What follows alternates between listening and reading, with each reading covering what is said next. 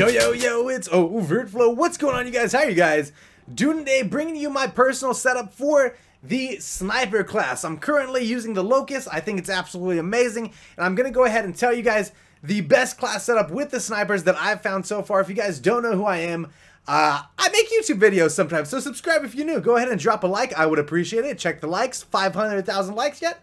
Not yet? Then drop a like. That'd be beautiful. And uh, I snipe a lot in Call of Duty. If you guys don't know, the snipers have been my most used weapons in every Call of Duty since COD 4. And I'm going to go ahead and show you my personal favorite setup for the sniper rifles as of right now. If it changes down the line, I'll make sure to let you know. But as of right now, this is, this is the best sniper setup that I've found. So as you can see, we got class 5 here. We got the Locust. And I'm rocking that beautiful Tayao camo. Oh yeah, ketchup and mustard and pickles apparently. Beautiful. Now with the Locust, I think it's a great bolt action, right? So it's a, it's a great gun, and this is for a good sniper class. If you want to use the Drakon uh, other sniper, then that's fine. That's probably better. But if you want to strictly use a bolt action, the Locust is a great choice. I've played with the SVG. It's a good choice too. I personally enjoy the Locust a little bit more. And here, I have nothing on the optics, but with the attachments, I am rocking the fast mags just to reload a little bit faster. That way you can stay on target when, you know, when you run out of bullets, you can pop in another mag and go to work, right? Ballistic CPU is another very important one in my opinion.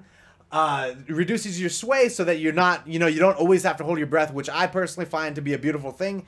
So those two uh, uh attachments are really great.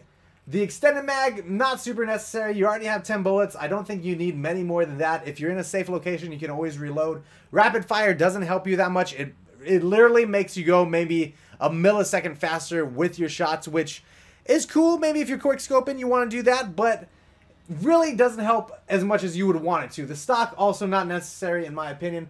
Ballistic mags, ballistic uh, CPU, and fast mags are the two attachments that I think are best. Uh, we get down to the secondary. I like the RK5 3 burst pistol. It's got a super fast burst cycle rate. It's beautiful with that Nuketown camo on it. I don't use any attachments on my secondary, and it's just a great backup. Lethal, obviously you want to go with a trip mine. Being a sniper, you always want to have something or somebody to watch your back, so I throw down that trip mine. And the trip mines in this game are, are great. They're like bouncing betties. They're really good. And I would I would definitely recommend them personally. That's just my personal, you know, thing. If you want to, you could swap it out for a trophy system instead if that's what you're into. If you want a trophy system or a shark a shock charge, a shark charge. A shark charge would be way cooler, right? Shark comes out and gets you. In perk one, I got flak jacket because as a sniper, sometimes you do not move that much. Sometimes you got to sit back and snipe a little bit, right? So you don't need anybody grenading you out of your spot, and therefore flak jacket is very important.